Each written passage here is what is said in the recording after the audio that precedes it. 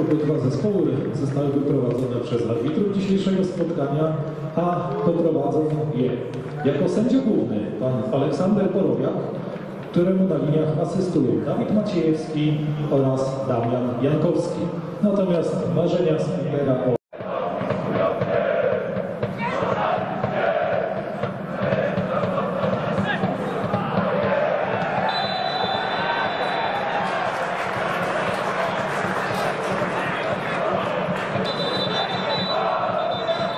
God.